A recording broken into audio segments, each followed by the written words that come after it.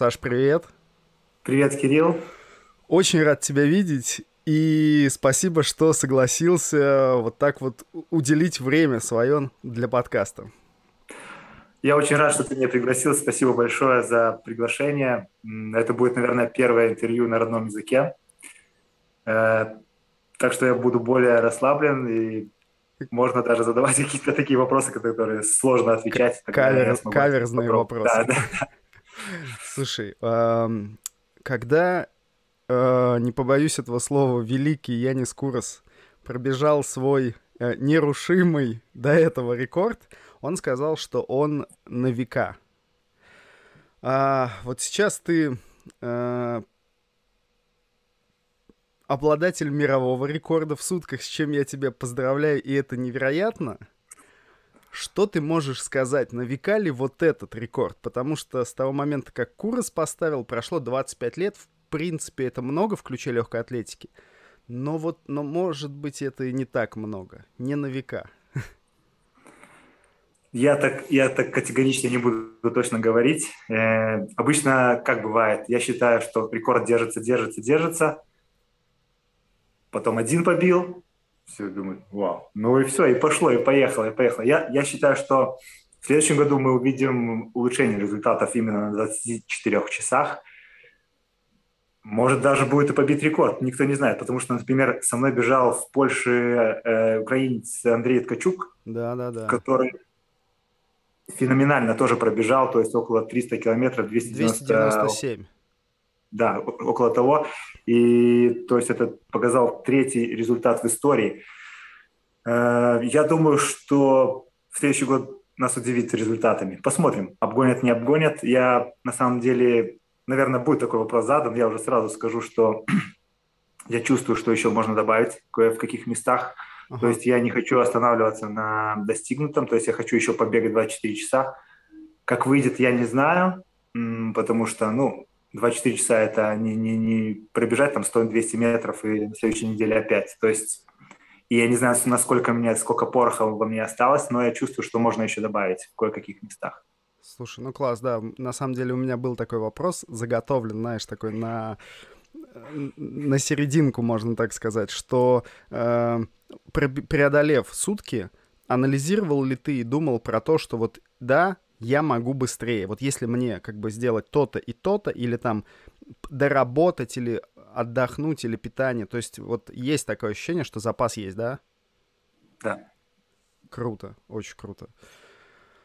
А, мне до сих пор не верится, потому что, ну, это феноменальные цифры, и э, мы вот как раз с Артемом Сыстревым до этого разговаривали. А, он был...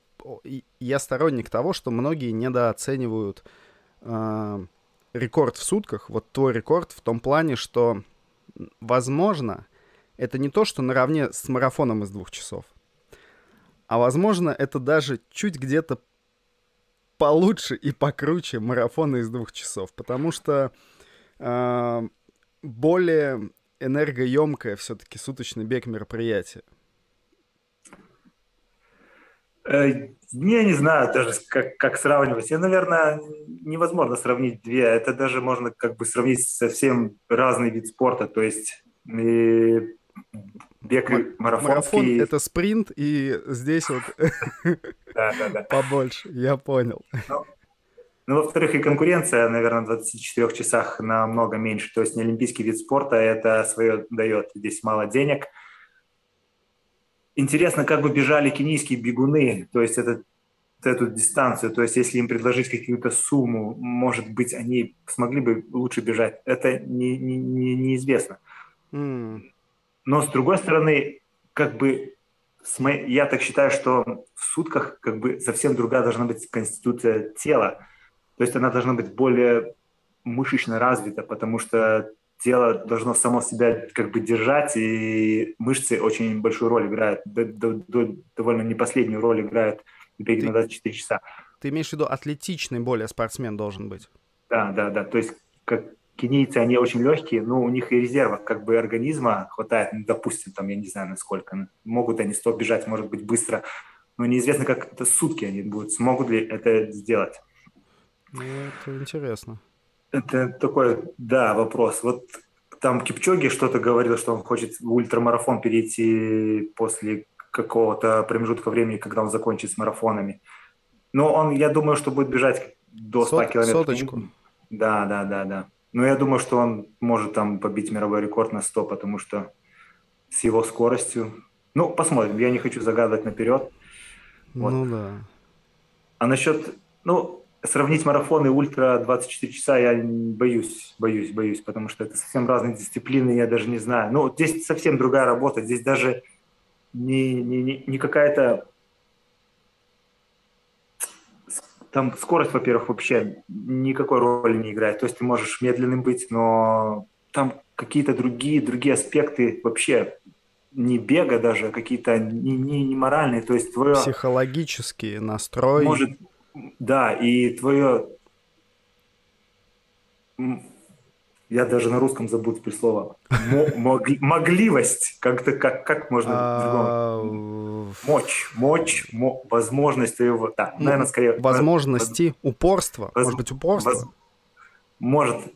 Возможности твоего тела бежать далеко, давать ногам энергию, потому что здесь у меня, например, лимитирующий мой фактор самый главный, это не какой-то моральное какое-то, как все говорят, как ты можешь бегать, бежать, бежать кругами, то есть, то есть тебе не доедает и все такое.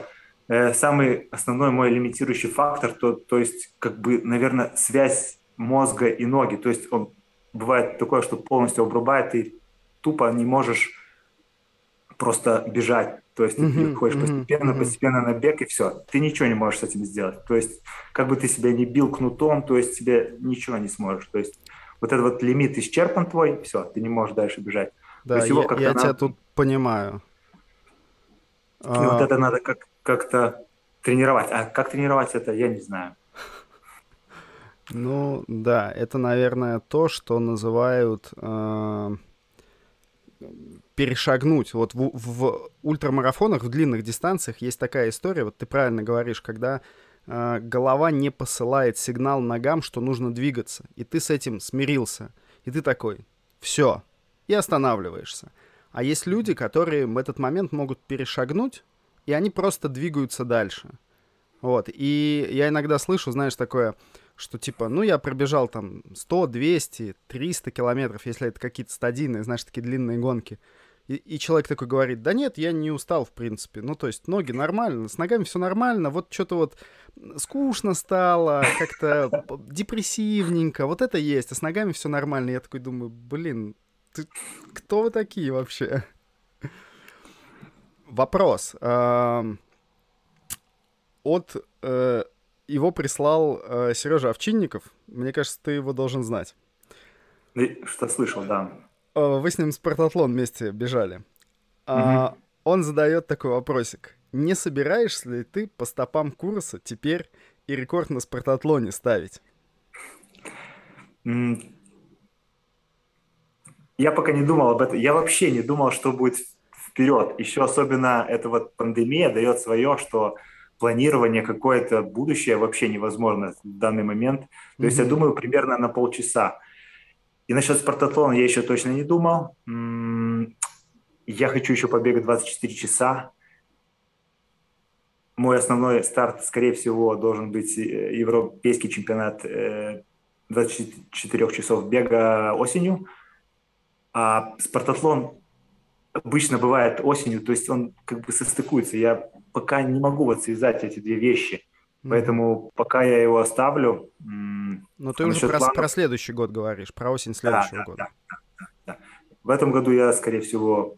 Не-не-не, спасибо. Если даже предложили бы бежать, я еще не, не готов, я еще не отошел. То есть как-нибудь без меня пробегите его.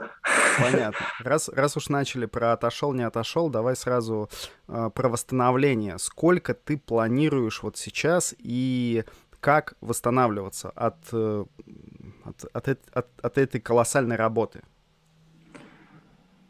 Сколько времени? Я обычно прислушиваюсь к своему организму, то есть это обычно бывает 2-3 недели.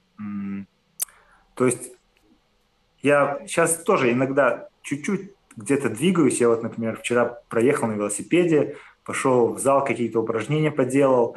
И я чувствую, что организм еще уставший, он мне говорит, не-не-не, парень, давай-ка немножко отдохнем. Ну вот я каждый день тестирую, в один прекрасный день я, я узнаю, что он, ну давай сегодня попробуем пробежаться.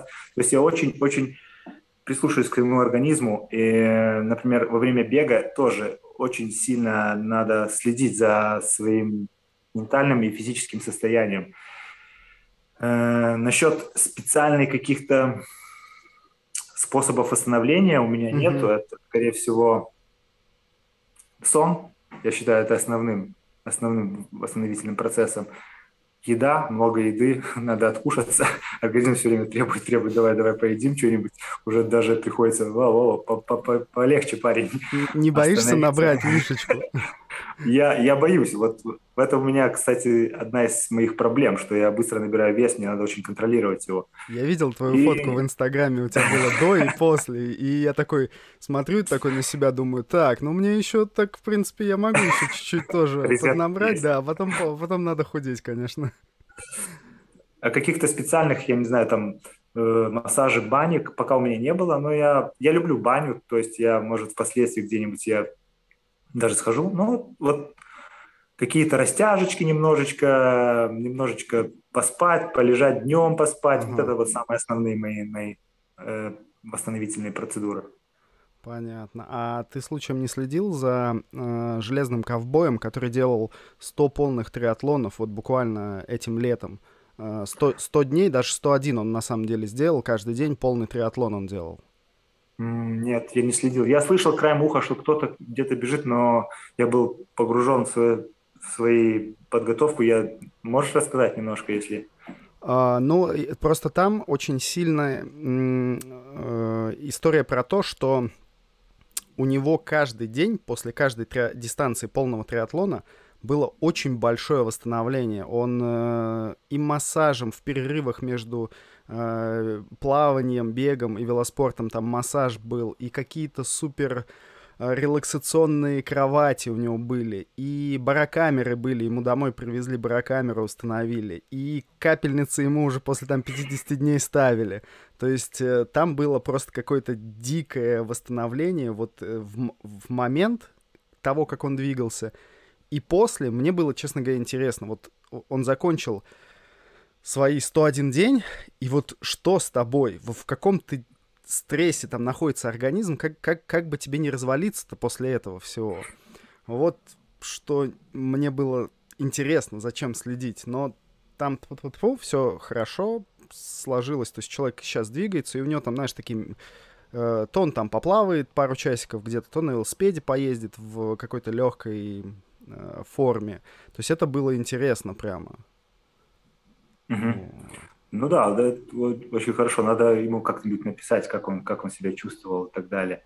Обычно я расскажу предысторию. Раньше, после 24 часов, обычно было так. Я останавливаюсь, иду какое-то время, я понимаю, что я сейчас упаду, мне, мне вызывают медиков, тоже ставят э, капельницу. Э, то есть мне даже не вышло выйти, когда я занял первый раз третье место на чемпионате Европы, не выйти на пьедестал, то есть я пролежал это все время в больнице. Кошмар. Ну, это такие страшные моменты. Вот э, меня слушают как э, спортсмены, такие, знаешь, прям заядлые, так и люди, которые к спорту мало относятся. И вот они сразу такие, типа, что человек в больнице лежал? Ну, типа, это того стоило? Да, я считаю, лучше, как философия самурая, лучше умереть на поле боя, чем, чем лежа в кровати. Э, да, с одной стороны, мне всегда жена говорит, не рассказывай эти страшные истории про больницу, про капельницу, пускай люди интересуются этим, ну, как бы это все кайф, нормально, но без этого, э, как бы преодоление себя, преодоление боли, это то, что 24 часа связано не, ну, симбиоз такой. Как бы себя преодолеваешь через боль, через не могу. Ну, это, ну, это такой самомазохизм, но кайф. кайф. Когда mm-hmm. ты все это сделал, вау, ты летаешь на, на седьмом небе, да, я это сделал, я молодец и так далее. Слушай, ну да, факт. Тут, тут я с тобой соглашусь. Нет э, Не, ну, наверное, есть приятнее чувство, чем чувство, когда ты все сделал так, как ты хотел, но вот когда ты на финише и ты удовлетворен, это, конечно, наверное, максимальное удовольствие от этого получаешь. Да, это, я считаю, даже это какая-то наркомания. То есть эффект тот же самый. То есть или ты алкоголик, или ты вот бегун. Тебе нужна эта доза, ты должен, должен, должен получить. Без этого как бы никак. То есть, наверное, э, те же самые вещества работают в организме, то есть просто разные деятельности. Ну да, да, да. Жена твоя, наверное, думает, господи, сейчас он пробежал 300 километров, что же он будет делать потом? Да. Сколько времени у тебя ушло э, на то, чтобы вот прийти сейчас к рекорду мира? Сколько ты шел к этому, готовился, тренировался? Наверное, я начал задумываться о рекорде лет 5-6 назад, когда результаты начали расти в 24 часах. Конечно, до 2021 года я не, не ощущал себя способным побить э, мировой рекорд на 24 часах. Этому способствовала даже, можно сказать, и пандемия, и очень большую часть. То есть, так как я до этого работал и работаю в казино, э, mm-hmm. во время пандемии были закрыты все заведения, то есть я был на, я не знаю, как на русском сказать, ну, то есть я не работал. Мне mm-hmm. государство платило там минимально как-то. И я решил все свободное время на подготовку к бегу, и результаты очень возросли. То есть 2020 год он был бы как бы, я шел, шел, шел на подъем, соревнования все были отменены. И на 2021 год я чувствовал, что очень много добавил по сравнению с 2019 годом, когда мне вышло выиграть чемпионат мира в 24 часах. И когда британцы меня пригласили на 100 миль, я, мне удалось побить мировой рекорд на 100 милях и заодно зацепить 12 часов рекорд. То есть там тоже такая э, интересная история вышла. Я бежал только 100 миль. Так. Бежал, это было на стадионе. То есть ага. как бы взял тупо мировой рекорд, там поделил, узнал скорость, какая должна быть, бежал чуть быстрее, тоже до конца не знал, смогу ли я выдержать. Ну, в конце концов выдержал. Оставалось 10 кругов до финиша. Я уже был рад, такой довольный, что рекорд, все мой. Мне организаторы суют бумажку. Я такой, не понял, ну, бежа, как-то по-русски, бега, бежа. На бегу. На бегу, на бегу. Я читаю, то есть, если ты продолжишь бежать до 20, 12 часов, то ты можешь зацепить еще 12-часовой мировой рекорд. Э, первые мысли были, ребята, вы что, я там устал, я нафиг идите, я со всеми самыми. Э, но впоследствии, через несколько кругов, я понял, что я себя не прощу никогда, если я не продолжу бег. Э, то есть, побив 100 миль рекорд, э, он стал 12, 11 э, часов и почти 15 минут, то есть мне оставалось бежать еще 45 минут, и за эти 45 минут, если я пробегаю больше 8 километров, то есть 12-часовой рекорд, рекорд тоже будет побит. Ну, то есть мне uh-huh. оставалось там просто продолжить бег, там он пала скорость, но этого хватило, чтобы побить 12-часовой рекорд, и он стал 170 километров, 300 с чем-то метров, и это мне очень-очень мотивировало, что я могу замахнуться и на 24-часовой рекорд, потому что, ну, как бы я еще чувствовал, что я могу бежать дальше. То есть не было такого, что я прибежал, мне просто упал. И спустя несколько недель я начал готовиться на 24-часовой забег. Э, это должен быть был чемпионат мира так. в октябре, но его отменили перенесли на следующий год из-за пандемии. То есть мне пришлось резко менять планы и искать соревнования на 24 часах. И выбор пал именно в Польшу, потому что я один раз там бежал, и мне очень понравилась трасса. Она очень ровная, идеально именно для 24 часов. Круг там 1700 метров, то есть мне нравится тоже такая побольше чуть-чуть круг, чтобы не было стадиона там или километра, то есть можно где разогнаться. Э, как раз это был конец лета, э, температура как раз бархатный сезон такой хороший. Э, и, ну, то есть условия все, насчет погоды, я хочу сказать, что условия были очень хорошие в Польше, и мне удалось вот впоследствии побить мировой рекорд. Так. Раз уж мы сразу про трассу и про все это заговорили, э, расскажи по поводу экипировки. Э, менял ли ты что-то по дистанции и насколько вот э, экипировка для тебя важна, не важна, насколько она, ну как, какая она должна быть, чтобы вот в одном и том же, если ты ничего не меняешь, там бежать сутки, к примеру. Да, экипировка очень важна. Я во время до забега я не знал, по прогнозам должно был быть дождь, но его, ой, хорошо повезло, что не было. Uh-huh. То есть я имел несколько комплектов одежды и э, ботинок, э, обуви, которые я должен был менять впоследствии, если бы намокало что-нибудь или что. Но так как не было дождя, я основные бежал в тех же ботинках и в тех же трусах. То есть я менял только вверх, потому что она ну, потела, там менялось, было uh-huh. холоднее, надевал больше слоев одежды и все. Э, да, основные основная экипировка – это, конечно, обувь. Э, надо найти, во-первых, для себя то, что тебе очень подходит. Она должна быть мягкая э, и выдерживать большие нагрузки.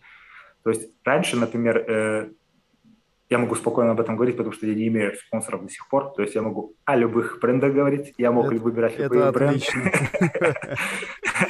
То есть 19 год, до 19 года я очень любил Adidas Ultra Boost.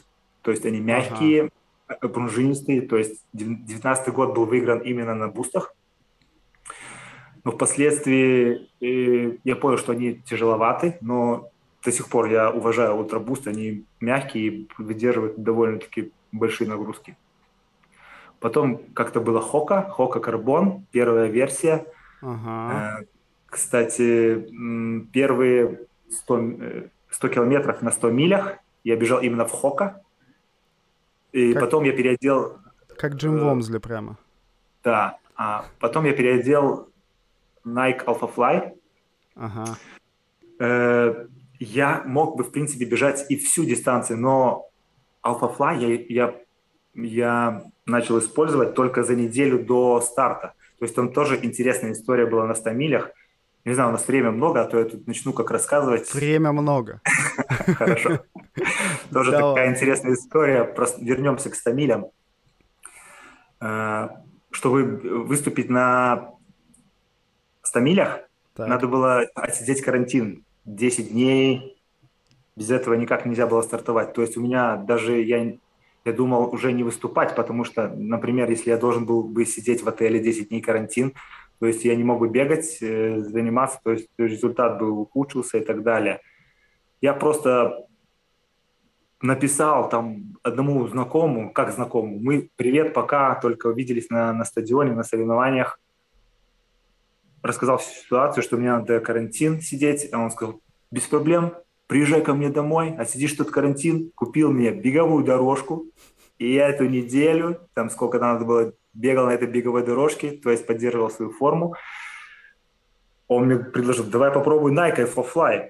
Э, я говорю, ну, чувак, я не буду менять там обувь за, за неделю до старта. Я ее обул, мне она как бы понравилась, но она, конечно, для нее надо сильно иметь голени, все сухожилия, все связки, потому что она такие, они такие мягкие, вот как бархат. Это один из вопросов был, потому что она не очень стабильна, да, и да. Как бежать в ней сутки, ну, то есть это либо ты как какой-то супер, у тебя супер ноги железные просто, которые вот очень ровно стоят вот так вот.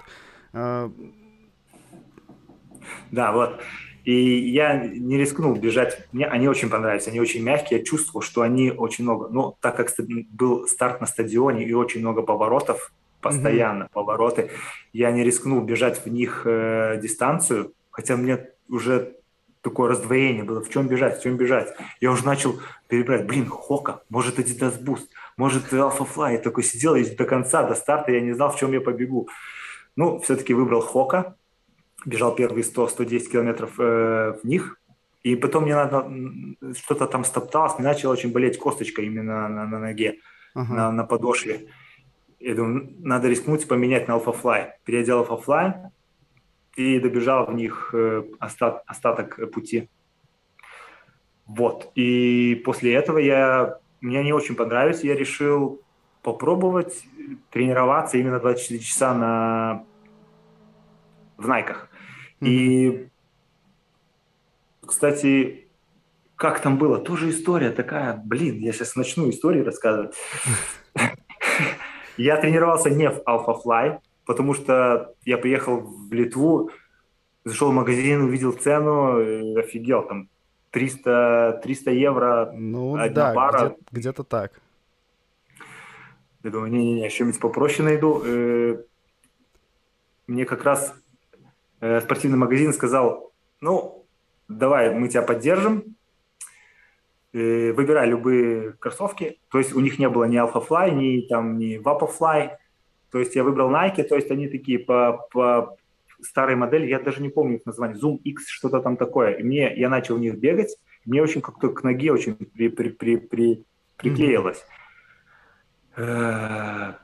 Я купил какие-то Nike Tempo, то есть они как бы имитация вот этих Alpha а, они да, тоже да, да. такие, вот, но они без карбоновой пластины. Tempo и я Next. Начал, да, да, да, да. Начал в них бегать. И я почувствовал, да, мне надо было, я подумал, что за пару месяцев моя нога крепнет, и я, может быть, смогу бежать 24 часа в них. Был план в них бежать. И я сразу, кстати, почувствовал, что у меня, я криво бегу. То есть у меня левая стопы? нога за, за, заваливается стопа. И я чувствовал, вот если немножко наклон вот трассы, и сразу меня начинает тянуть в какую-то сторону, я просто надеялся, что в Польше будет очень ровная дорога и не будет таких вот завалов, и я смогу бежать. Ну и меня все равно мысли мучили. Блин, чувак, ты готовишься к мировому рекорду, ты должен взять себе лучшие ботинки. То есть я пофиг, была не была, купил эти за 300 евро ботинки и впоследствии просто тупо взял и бежал в них. Я хотел их менять, но я боялся, что другие будут хуже э, реагировать. На, на, да. И то есть я выбежал в них. Слушай, вот э, здесь вопрос э, тогда сразу же в лоб. Насколько ты считаешь, что вот карбоновая обувь э, э, помогла тебе э, поддерживать эту скорость, э, ну, экономить энергию? Вот наско- насколько это работает окей, мы увидели в том, что Кипчоги может бежать в них, ну, в аналогичных из двух часов. Насколько mm-hmm. это помогает на сутках? Ре- вот реально. Э, я понял, что они очень хороши, потому что они выдержали, во-первых, все сутки, они амортизировали очень хорошо, это раз.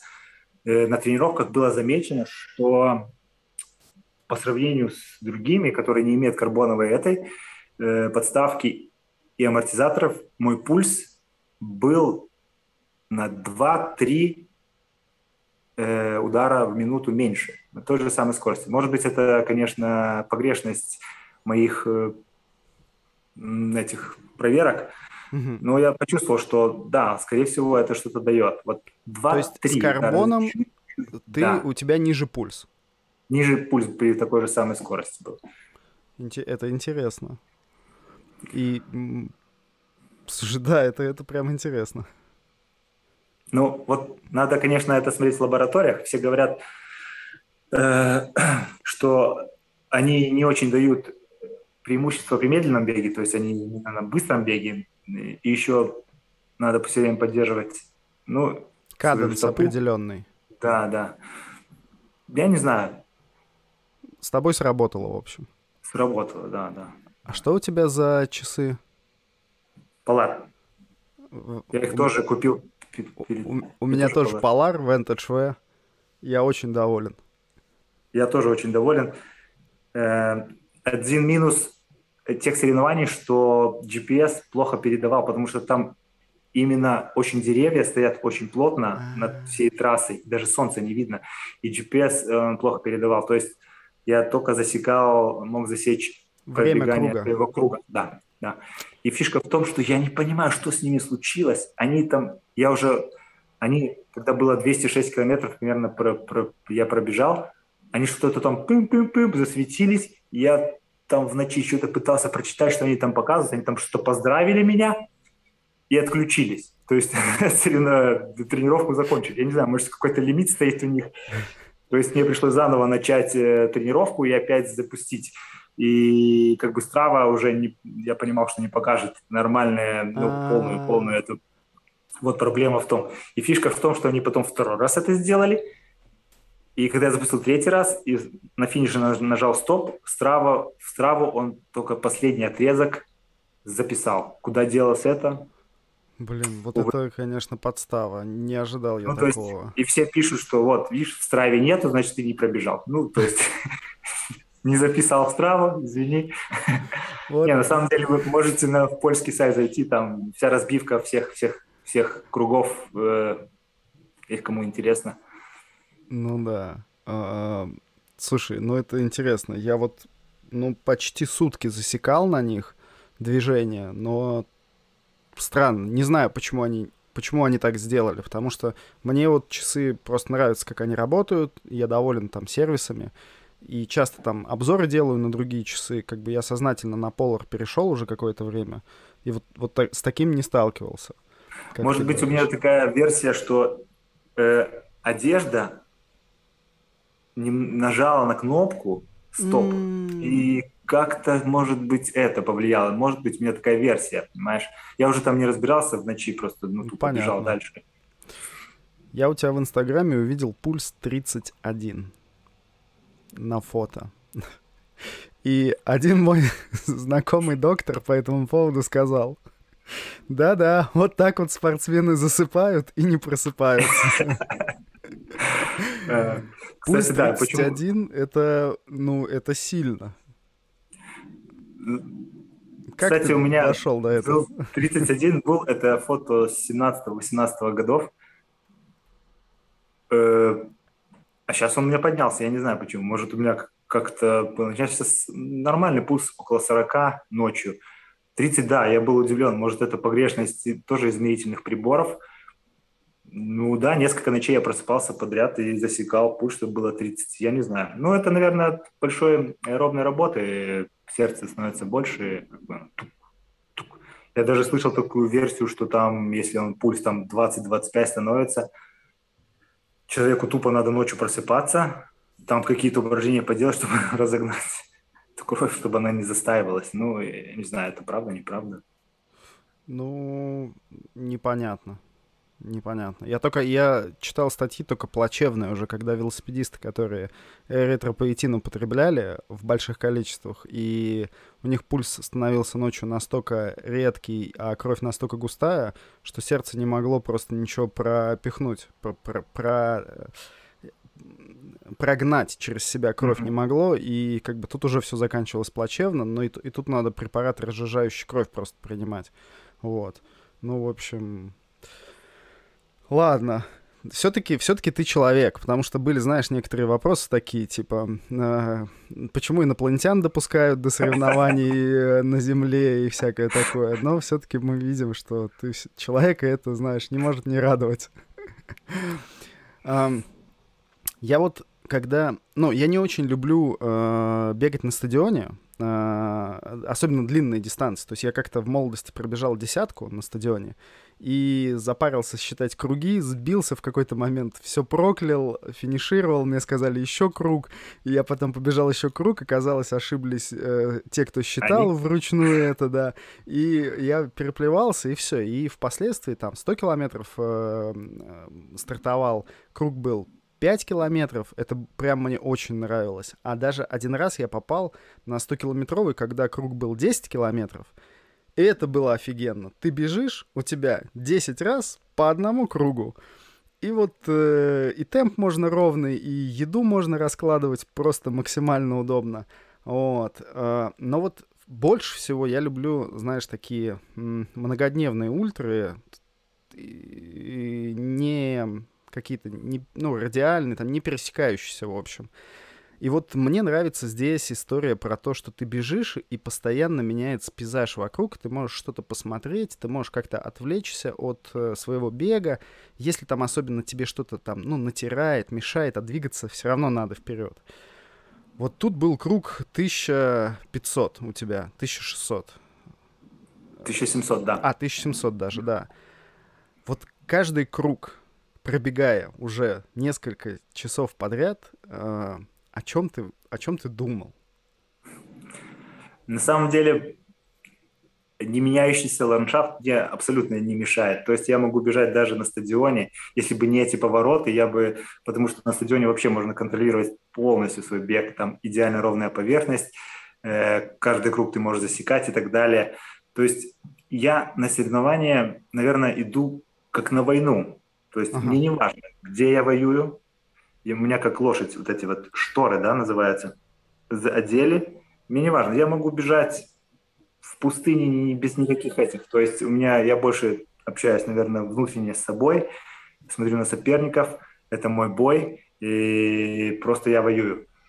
И даже у меня единственный есть э, при, пример, когда я бежал из точки А в точку Б, это спартатлон, то есть говорят, там красивые места, конечно, там красивые Я не помню ничего. То есть я помню, что там было море где-то, или с этой стороны, или с этой стороны, там были горы. Но в основном я просто сосредоточен на беге, на дороге.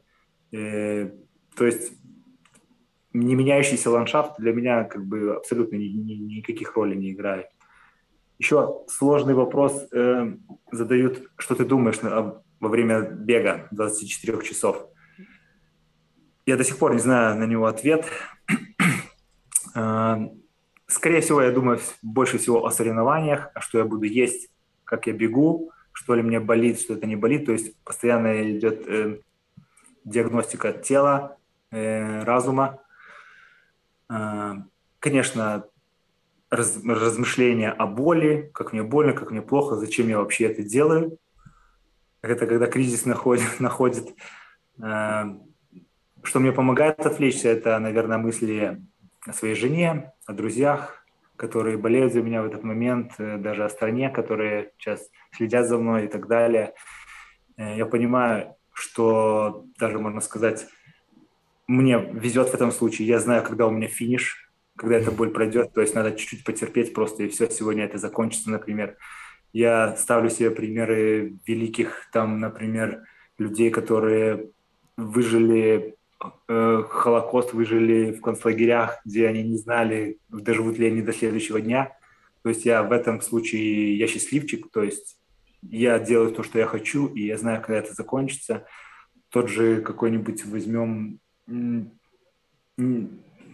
неважно, забыл, который сидел 25 лет и стал президентом. Я понял, про кого ты говоришь, но я тоже не помню, как его зовут.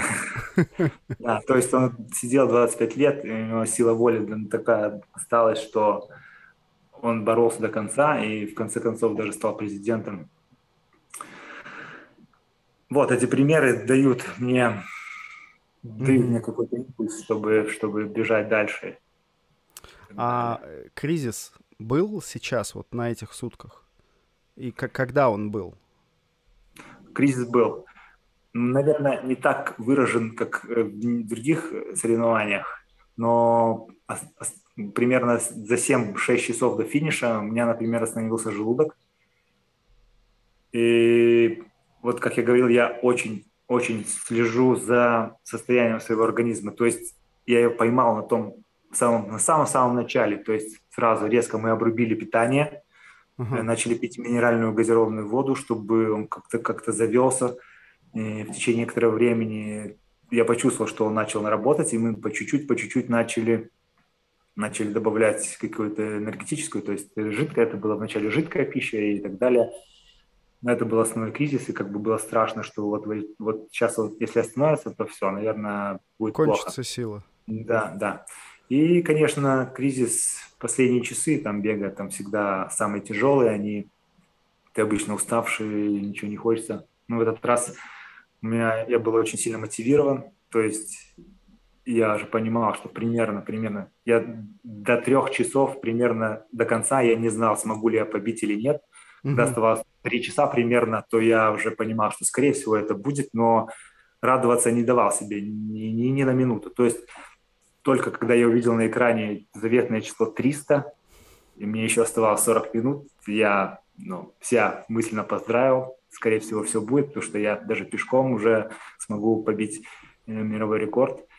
И тогда я понял, я сказал себе, ну вот, теперь твой момент, наслаждайся им. твои 40-30 минут, которые ты меняешь историю. Ну, то есть это было вау, конечно. То есть э, можно было их немножко растянуть. Да. Слушай, раз уж заговорили о питании, это всегда такой сложный э, вопрос в любом, в принципе, беге выше там 20 километров, вот, э, тем более в суточном. Э, немножко о, о рационе на сутках расскажи о своем. Как бы я не знаю, что я буду хотеть на сутках каждый раз. То есть, То есть я... Привередливый иду... такой. Да, я не знаю, что пойдет в этот раз. То есть я тупо иду в магазин. Во-первых, покупаю весь джанк-фуд, который я ем, могу есть. То есть это чипсы, шоколадки, какие-то батончики, э, супы, которые быстро растворимые, как они называются. Покупаю джем, там сыр, который можно мазать, бутерброд ага. делаю. Вот это основное. Из более здоровой пищи это бананы, апельсины, иногда финики. Э, из напитков это обычная кола, там какие-то лимонады, чай, кофе. И мне Камила сказала, пей пиво. Пиво очень хорошо помогает. Кстати, на чемпионате мира я... или... Нулевка, да, нулевка. нулевка. Но, кстати, она вроде алкогольная пьет. Я, кстати, узнал только недавно, что алкоголь не запрещен э, допинг-контролем, то нет, есть можно его пить, нет. да, да. Поэтому в прошлом, нет, в, поза... в общем, я не помню, на последнем чемпионате мира, когда Камила пробежала по рекорду, по женскому, вот, очень много людей, э, ну, в русскоязычном интернете начали писать, что, типа, ну, по поводу вот того, что она пьет пиво, что это, это неприемлемо, тем более пиво алкогольное, это к спорту не имеет никакого значения. Я, для меня это было очень странно. То есть вам-то какая разница, друзья? Ну, то есть человек полное право имеет делать, что хочет. А, и вы, значит, порицаете, ну, то есть, типа, рекорд мира, да мужики так не бегают. Да она пьет пиво. Да вы посмотрите, я думаю, блин, ребята, надо радоваться за человека, что он может так гнать, как бы, а вы тут за какую-то фигню цепляетесь. Извини, перебил. Давай да, все нормально, это, это классно. Э, и примерно, ну, и, кстати, пиво я так и не попробовал. Как-то, хотя, может быть, я уже не помню, там такая ситуация, что уже ничего не соображаешь, что мне постоянно, да, кстати, очень, очень хорошо, э, ну, важно иметь очень хорошего помощника. Ага. Со мной всегда ездил брат. В этот раз он не смог. Поехал мой папа и тренер польский, который у меня появился с 19 года. Кстати, ему очень благодарен, потому что он работает со мной просто безвозмездно. Я сразу в голове совы с Винни-Пуха, да? Безвозмездно. То есть даром. Даром. Э, и да, ты когда бежишь, очень важна его работа. Конечно, мне так, на тот момент казалось, что у меня суется много еды постоянно, и пробегая круг, он начинает, давай, ты должен это съесть, ты должен это съесть. Думаю, боже, отцепись от меня, дай мне хоть круг пробежать спокойно. Но, наверное, это нужно делать, потому что ты уже сам не контролируешь ситуацию, то есть ты где-то летаешь там и так далее. Но, в принципе, расчет такой, что 400 килокалорий в час, в каком виде это будет предоставлено твоему организму, это уже, наверное, больше генетически, как ты расположен к этому. То есть, если ты хочешь Вопрос усвои... усвоения. Да, жидкую пищу, пожалуйста. Потому что Андрей Ткачук, как я, я понял и знаю, он бежал только на жидкостях. Пожалуйста, исторические достижения 290, там, около 7 да, километров. Э, я тоже раньше бежал на жидкостях, но понял, что Твердую пищу тоже стоит принимать, так как организм нормально реагирует на пищеварение. То есть вот эти вот основные продукты вначале очень хорошо шли эти бутерброды с сэндвичи с джемом. Я угу. мажу джем и мажу сыр, сыр мягкий. Ага. Да. Оп, он хорошо проглатывается, то есть сыр как бы очень хорошо проходит с джемом. Ну, тут как тебе и углеводы, и жирненькое как раз, да, и да, хлебушек. И, и да, да, да. Андрей, пробегая мимо меня как ты можешь хлеб кушать во время соревнований и так далее. Я говорю, да, мне нормально заходит. Да, кстати, мы так пробегая, то он впереди вначале был, то я впереди, или пересекаясь через круга. Мы, конечно, общались, э, друг друга поддерживали, он меня очень морально поддерживал. Давай, Саня, ты можешь, давай, давай. Я так уже все, хана мне уже через там. И каждый час мне говорит, не, все, хана, все, бежит и бежит, бежит и бежит. Говорю, блин, когда ты тебя закончится, это батарейка твоя. И когда мы пробегали мимо поляка, это вначале было вот стабильно, через каждые два часа мы обеж... опережали поляка на круг, который бежал первый. Ага. И встречались все вот трое, вот как-то как так совпадало. И поляк говорит, ну что, увидимся через два часа? Я говорю, ну да, увидимся дальше. Бежишь, бежишь через два часа к поляку. Привет, как дела? Нормально, бежим, бежим. Вот такое было общение. Ну, а вы на дистанции все-таки с больше друзья или соперники? Больше друзья, скорее всего, потому что соперник, наверное, самый большой это ты сам, твоя, твоя усталость. Если ты сможешь ее контролировать, то ты сможешь бежать. Если, не, если контр... будет усталость себя контролировать, то все, ничего не, не сможешь делать. Да, обычно вот и ультрабег мне нравится тем, что здесь как бы нету соперников. То есть даже на чемпионатах мира ты чувствуешь поддержку других стран. Mm-hmm. Конечно, все более болеют за своих, но поддерживают всегда тебя. Особенно вот, которые у меня страны, которые, я не знаю, мы так сдружились с ними, вот такие вот, как Британия, скажем, Бразилия очень-очень поддерживает меня. То есть давай, давай, ты можешь. Особенно в последний час все начинают хлопать, поддерживать всех без разбора. Это очень приятно. Ну, да, То есть нет да, такой, да, такой, такой, такой конкуренции между державами. Ну, это очень приятно. Ну, я все, все еще надеюсь, что, несмотря на все, что происходит там и на Олимпиадах, и везде, что о спорт и мир, я на это надеюсь, и как бы, ну там, неважно, из какой ты страны, как бы, не, не это важно. Вот так вот я хотел сказать. Да, да, да. Вот. Давай пройдемся по спортпиту. Это тоже достаточно интересный вопрос. Все спрашивают, спортивное питание, там, специализированное какое-то, гели. Ты что, он не ел гели? Или там, что, он бежал только на гелях? Вот. Э, гели, солевые таблетки, белковые смеси. Что-то из этого ты применял на дистанции? Да, я могу перечислить то, что я при, применял. Кстати, гели я раньше при, принимал, но как-то перешел вот на еду простую, то есть магазины. Mm-hmm. То есть считаю это как бы... Я не вижу разницы между гелями и простой едой, то есть даже... Потому что гель, когда ты ешь его, особенно он, когда он сладкий, он приедается конкретно, там через буквально 6-8 часов ты сладкое просто не можешь, не можешь есть. А во время еды простой ты можешь менять вкусы свои. Вот это самое большое, наверное, преимущество простой еды. То есть ты сначала поел сладкого, угу. не хочется, перешел на кислое, не хочется, перешел на, на более безвкусную еду. И это очень, очень хорошо. Насчет спецпродуктов я использовал Мауртен, блин, как они название попридумывают, Мауртен, который да, да, да. в порошке, который растворяешь с водой, кстати, очень хорошо заходит. Угу. Precision Hydration. Тоже такая фирма, мне кажется, британская.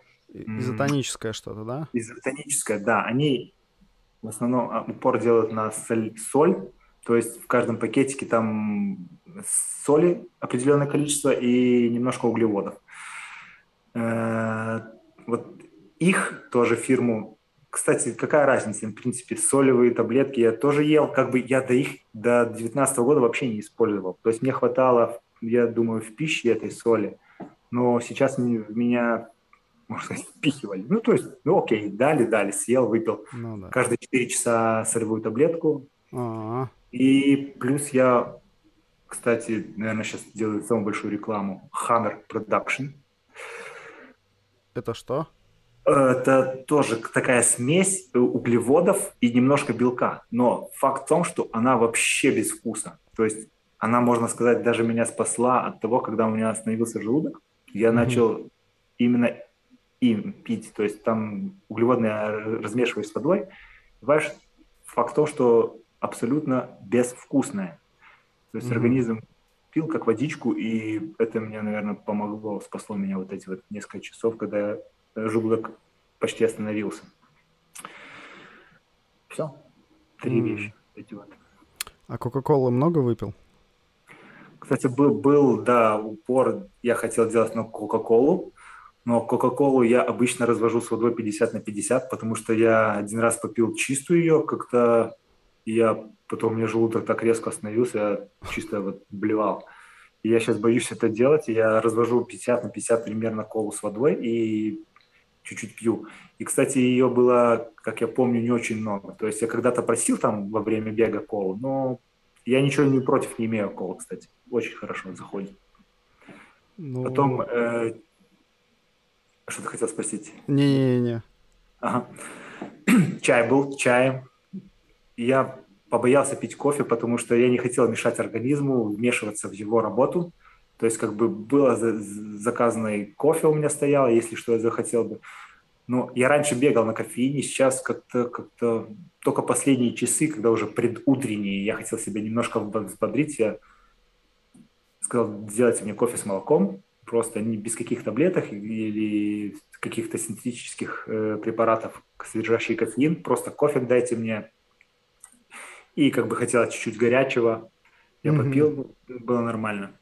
Но в основном был чай, чай с лимончиком, пьешь, очень хорошо. И mm-hmm.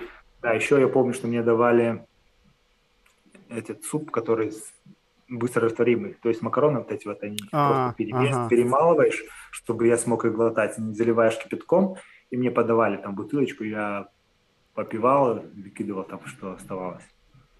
Слушай, понятно. А вот вообще э, ночь ты как переносишь? Не рубит спать э, или э, сложнее бежать ночью или вот именно под утро, когда вот силы уже тоже заканчиваются? Тяжелее бежать, скорее всего, ночью, потому что организм привык спать, но как бы на сон не, не клонит, это точно. Просто, наверное, морально тяжело тебе еще темнота, это давит, давит. И я, да, впоследствии ждешь, ждешь вот этого рассвета. Как бы на самом деле, чем дальше, тем тяжелее, но рассвет как бы морально тебя, ты как бы просыпаешься все равно. Солнце вылезло, вау, привет, солнце, как дела? Ну и как бы там уже оставалось последние часы, я уже все хорошо. Ну, то есть, да, я солнце жду всегда, всегда жду солнце, жду, пока эта ночь закончится, то есть самые тяжелые часы. Понятно. А, немножко про твой рацион в обычной жизни. А, вот как, как, как ты питаешься, зачем следишь? Ну, вот, может быть, есть какие-то особенные моменты. Ты тем более сказал, что ты склонен к набору веса. А, зачем следишь в питании?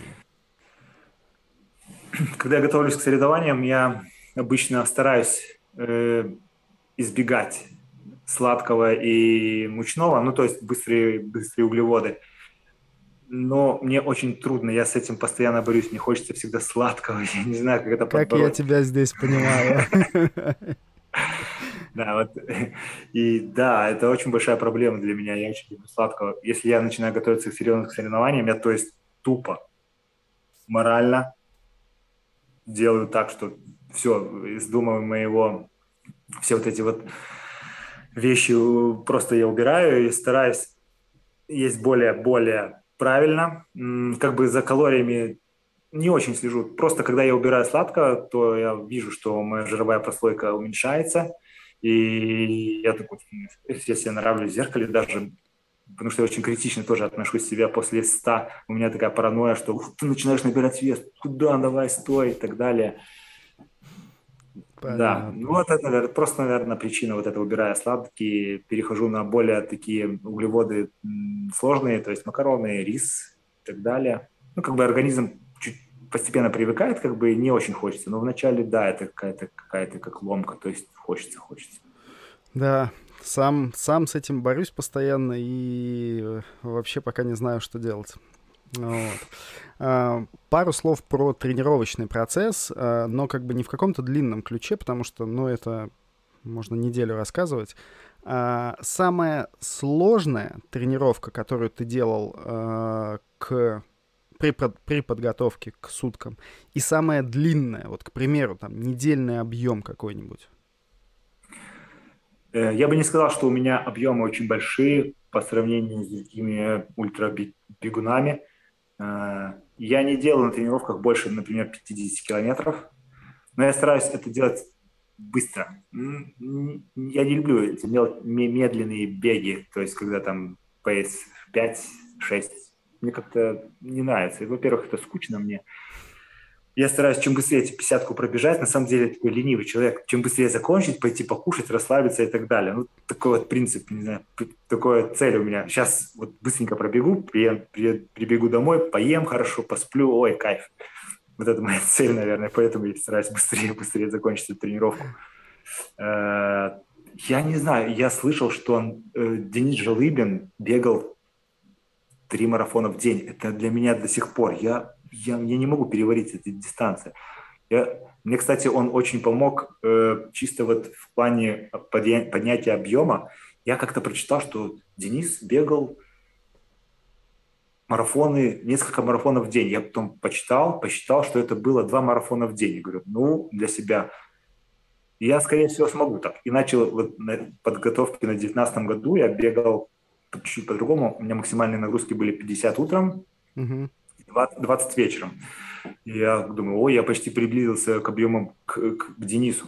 Потом только я впоследствии узнал, что он, блин, бегал три марафона в день. Я, я, я чуть с ума, мне до сих пор голова не переваривает такие нагрузки. То есть у меня больше акцент идет на скорость. Два раза в неделю я делаю быстрые тренировки. И самые тяжелые, как ты говоришь, для меня вот эти вот тренировки есть. То есть например, по километру, по два. Я, как-то мне запомнилась тренировка 2 километра 10 раз. Ну, вот, вот как-то так. Я а бежал по, по сколько ты бежал? По времени на километр?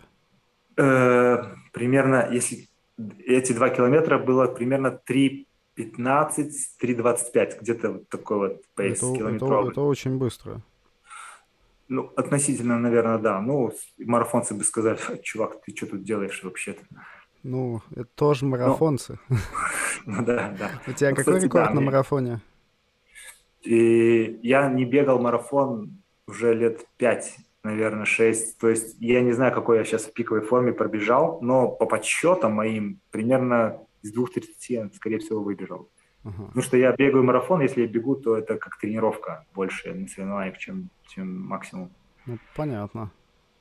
Ну, то есть у меня есть время 2.40 вроде бы, но я, например, бежал в этом году 50 километров как тренировку, у меня там марафон вышел 2.36, 2.35, не засек точно. Ну, то есть я думаю, что в 2.30 я бы смог бежать. Вот, это основные тренировки. Примерно недельный километраж в пиковых, я говорю сейчас про пиковые недели, да, да, да. от 20, 230 до 280, больше я не бегаю.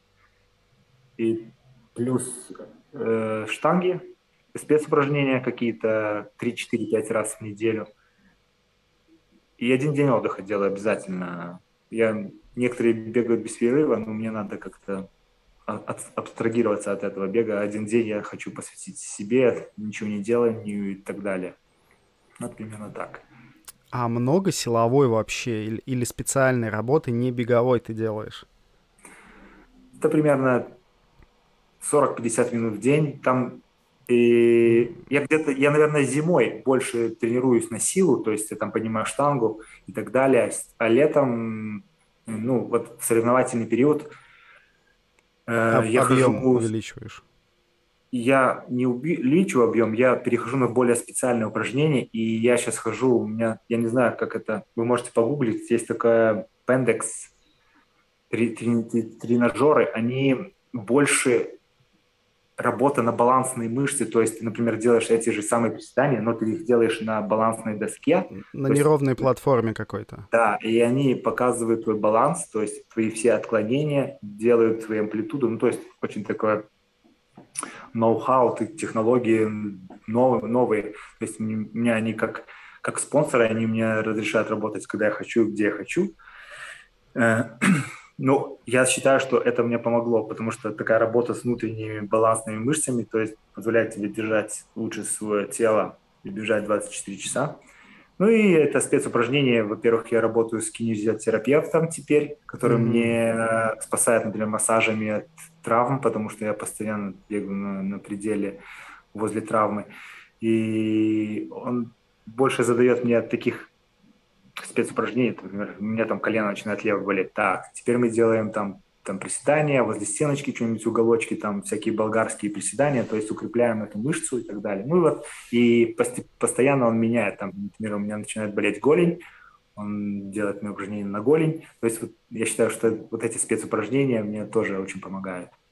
Угу. Ну, то есть фактически получается, работаешь над общим укреплением тела, и вот что-то вылезает, и вы точечно это убираете. Да, да, да, да. Но у тебя на самом деле такая достаточно большая команда, хорошая, ну в хорошем да, смысле. Она, она, она, она, она собралась после победы в 2019 году, и у меня появился и массажист, и тренер, э, короче, на меня работает, можно сказать, я сейчас как, чувствую себя как профессионал. То есть на меня работает много людей, да, да, да, без них, э, я думаю, результата тоже не было бы. Слушай, круто. А многих э, всегда волнует вопрос там, ну вот когда я, я где-то что-то бегу, к примеру, мои друзья спрашивают, а что тебе дали? И я такой, в смысле, мне ничего не дали, я еще и заплатил за это, и заплатил там, чтобы поехать, и, и там за подготовку платил, и все такие, типа, блин, это какая-то лажа, чувак, ну ты занимаешься какой-то фигней. А, вот ты сейчас а, официальный рекордсмен мировой. А, Какие-то бенефиты, профиты ты за это получаешь? Ой, больной вопрос, больной вопрос. На самом деле государство ни, ничего не предназначено для после установления таких достижений. То есть оно мне ничего не должно, как бы по закону. И даже легкоатлетической федерации, например, это не олимпийский вид спорта, он как бы мало, вообще как бы не должен mm-hmm. финансироваться но за мои заслуги я, они мне сказали, что у меня финансирование будет, хотя бы минимально какое-то, но будет. Посмотрим на следующий год, как это отразится в цифрах. Угу. Но до сих пор как бы я не считаю себя проф-спортсменом, так как я не имею никаких договоров. Э, я до сих пор работаю в казино, хотя я еще не вышел, как пандемия закончилась, благодаря некоторым просто людям, которые фин просто дали мне денег, сказал, давай, этот сезон ты точно отработаешь, не выходя на работу, я очень им благодарен. А что будет на следующий сезон, я еще не знаю. До сих пор, может быть, даже придется выйти на работу. И отвечая на твой вопрос, можно ли заработать ультрабегом, тяжеловато. Например, э, самый большой приз, который я получил, да, вот это было в Польше, то есть был обозначен мировой рекорд за мировой рекорд 7 тысяч злотых, это примерно полторы тысячи евро. И плюс за первое место около 400 евро. Ну, то есть чисто забегами заработать невозможно. Я слышал максимальное, что можно выиграть, это бег в Австралии, 24 часа на стадионе. Там за первое место, мне кажется, 5000 их долларов. я не знаю точно, сколько это в американских долларах, но мне такое чувство, что на два надо делить. То есть несколько тысяч долларов можно заработать, но как бы по сравнению с, там, например, с золотыми марафонами, где около... Ну, да, да, да. Это копейки. Ну, то есть прожить трудно. То есть надо искать спонсоров. Ну, конечно, это, наверное, вина больше с моей стороны. То есть я не работаю с медиа, не умею работать с медиа это, наверное, тяжелый процесс, и надо уметь это делать, надо, то есть, нанимать какого-то человека, который работал с медиа. Э, знаю только не, некоторых, может, вы знаете литовского, так, Гедеминес Гриниус, нет, не слышали, трейл, который выиграл Боюсь, первое место что нет. в 2017 году. Вот, он пробился именно за, за то, что за, за, медийный за свои, человек. Медийный человек, да. Ну, в любом вот. случае, если кто-то посмотрит этот подкаст и хочет э, поддержать Александра, я оставлю все ссылочки в описании.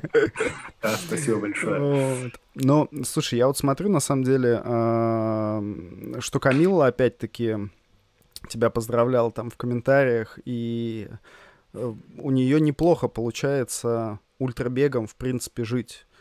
Вот как она это делает? ну, большими спонсорскими контрактами, скорее всего.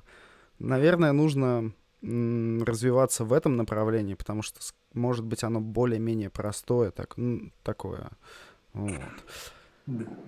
Да, я, я считаю, вот в Америке это, наверное, больше развито. То есть я не думаю, что она ходила по, по, по всяким инстанциям, просила. Я думаю, что ее сразу заметили, сразу они предложили. У нас как-то с этим похуже. То есть надо самому пробиваться, пробивать все стены, стучаться во все двери и пробовать, пробовать. Ну, я надеюсь, что после этого достижения как-то этот лед тронется. Может быть, я надеюсь, что будет все хорошо. Да, я просто уверен, что будет все хорошо. Ну, нельзя же, нельзя же так долго сидеть. А, видел, что Киллиан тебе писал тоже в комментариях, Киллиан Журне. А, что ты думаешь по поводу того, что вот он хотел бежать 24 часа и тоже замахнуться на рекорд курса? Потому что я, честно говоря, сразу же не, при всем моем уважении к Киллиану, я очень скептически к этому отнесся из-за ряда причин. А, это не его бег на стадионе, это абсолютно не его бег. Он может быть миллион раз лучший э, горный бегун и покоритель всех в мире вершин, но стадион это как бы не его бег, и э, это очень сложно. Это сложно. Плюс 2000 метров над уровнем моря, стадион был у них, и холодно. То есть они да. ночью бежали в куртках там. Вот. Э, я как бы сразу так, типа, ну, навряд ли. Что ты думаешь по этому поводу? Да, вот ты перечислил вот эти все причины, которые, наверное, не дали Килену пробежать хорошо. Во-первых, я считаю, что сутки с первого раза не, не, не дадутся. Надо, даже если ты трейл бежал 24 часа, там другие мышцы работают, надо развивать именно на плоскости их постоянные удары, постоянные там работа других мышц. Да, холод. Э, но я, я считаю, если он возьмется за это, то может быть результат хороший, потому что человек таких способностей, возможностей. Тут главное, наверное, мотивация и желание. Да, холод, холод – это тоже одна из причин, где я только сейчас узнал, что это было 2000 над уровнем моря, да. Но это, наверное, было какое-то шоу больше, э, да. Э, ну и, и было нечего делать. Прошлый год, как бы он был такой совсем, да, да, да, совсем тяжелый. А да, а все дел... да. делали эти э, фаст, э, Эм, господи, я забыл, как называется, ну, проходили дистанцию по максимально быстрому времени, устанавливали рекорды на прохождение, поэтому здесь как раз все, скорее всего, сложилось, и Соломон кроссовки там новые представлял, и они такие, типа, ну, в принципе, почему бы и нет. Вот. А,